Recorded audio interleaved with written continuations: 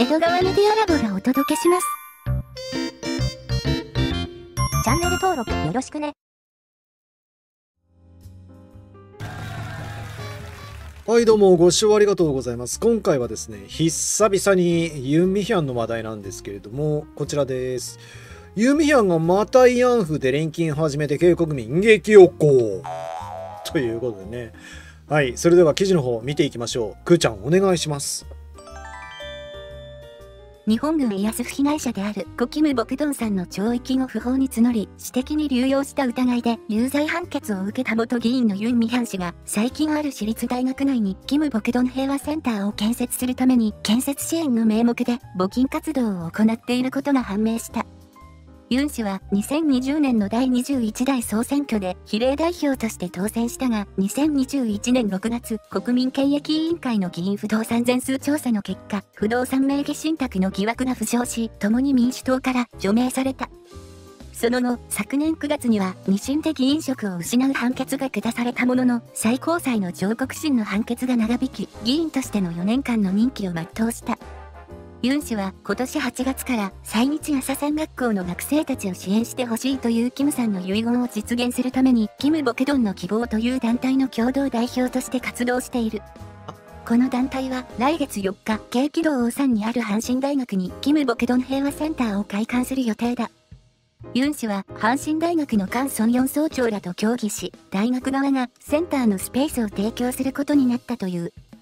ユン氏はセンター建設のためのキム・ボケドン平和センター推進委員会の委員長を務めており、個人や団体がそれぞれ1万ウォン、10万ウォン以上の会費を納めれば推進委員になれるという。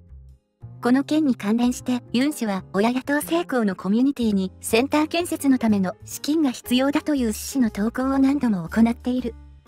先月30日には、キム・ボケドンの希望は、財政状況が厳しく、事務所スペースもわずか6坪程度で、活動家も1人しかいないとし、このような厳しい状況の中で、大きな事業を始めた。それが、キム・ボケドン平和センターを世界各地に作ることだと述べた。そして、このセンターを建設するためには、市民の支援が必要だとし、日本軍慰安婦問題解決運動の歴史に新たな転換点を作ることになると強調した。さらに、支援者は全員推進委員として歴史に名を刻み、寄付者の名前を壁に刻む予定だと述べ、寄付口座と電話番号を公開した。ユン氏は今月2日に投稿した文章で9月30日から10月1日の2日間で48人が162万ウォンを寄付してと明かし、まだ参加できていない方で推進委員になってくださる方はいませんかと再度支援を呼びかけた。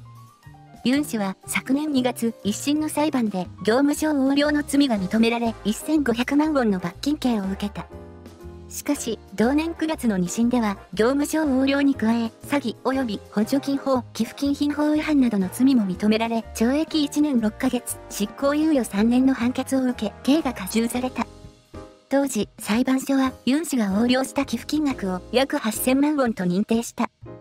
特にユン氏がキム・ボケドンさんの懲役約1億3000万ウォンを自身の個人口座で不法に募った疑いも有罪とされた。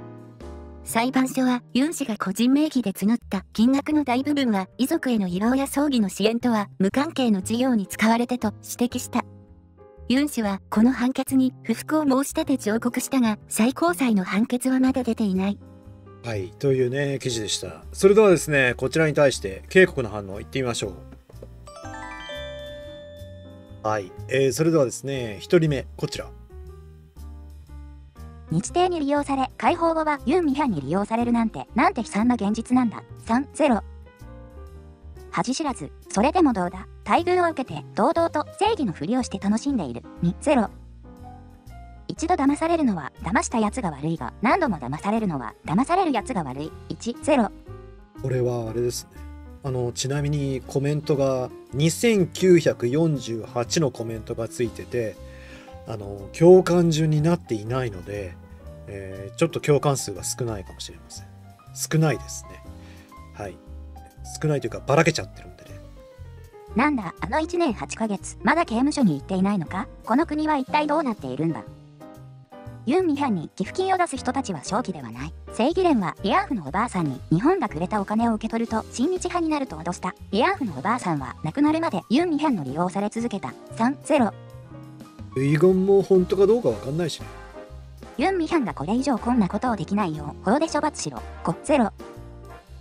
市民団体と呼ばれるところは、寄付集めに関しては本当に抜け目がない。寄付をする方が問題だ。生涯騙され続けて生きることになる。3、0。人間の形をしているからといって、全て人間ではない。寄生虫のレベルを超えて吸血鬼だと思う。9、0。正気が失われそうだ。警国は犯罪者の全盛時代だ。こんな人間がいつまでのさばって活動しているのを見ることになるのか。この国に正義はあるのか ?9、0。頭を叩かれなければ正気に戻らないだろう。悪臭は治らない。とんでもない女だ。生涯、慰安婦のおばあさんたちを利用して、まだ金を絞り取っている。1、0。どうして政府や検察はこの女を逮捕しないのか？ユン大統領、罪を犯した者たちをしっかり捕まえてくれ。1、0。でもあれでしょこれ第2審で執行猶予ついてんだよね。左派たちとその支持者たちが寄付に参加するのか？お互いにやり取りするなら言うことはない。2、0。ゴミ風船に乗せてキム・ジョンウンのところに送れ。本当に悪質な中の最高の悪質だ。1、0。最高裁は一体何をしているんだ？立派な活動をしている他の人たちまで批判されるこんな道場を利用する詐欺師がなぜまだ活動しているのか？本当にこの世から消えてほしい10、0。はい、というね、意見でした。それではですね、チャットの反応見ていきましょう。どいね。えー、じゃあこれかな。なんや、まだ息しとったんか？このオバハンベイの中に異世界転生してないんか？ドイツの密着に参戦するにだって、先月行ったらしいよ。9月の27 26に行ったらしいですよ。そういやヨンさんはお元気なのかしら？マジでオカメとの見分けがつかなくなっとるやないかい。募金を着服したらもう信用されないんだよ24時間頑張ってても。ドイツで失敗したから補填しないといけないのかな？わら。その募金から何割使い込むのかな？またワインパーチーしちゃう？世界各地に募金を着服しましたと知らせるつもりなんだ。わら。ま、来大繁盛の設置をなんとかした方がいいんでね。無職になったらすぐ募金ってか、お前に向けた遺言でもないのに。こいつは本当にがめつすぎてドン引き。まだ物乞い小じきを続けるんだ。とっととぶち込めよ。たった16万円しか集まってないんじゃ無理なんじゃね ?16 万じゃ靴も買えないにだ。海外出国禁止になれば国が刑務所みたいなもんだからいいんじゃね？そのヤーフのおばあさんも偽物だったろ。わら。嘘だって分かってるから着服しても罪悪感が湧かないんだろうね。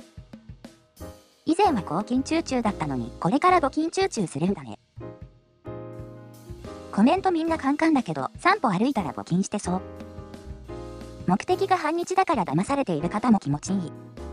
ということでね、えー、それではこれで終わりにしたいと思います。ご視聴ありがとうございました。チャンネル登録、評価、ぜひぜひよろしくお願いいたします。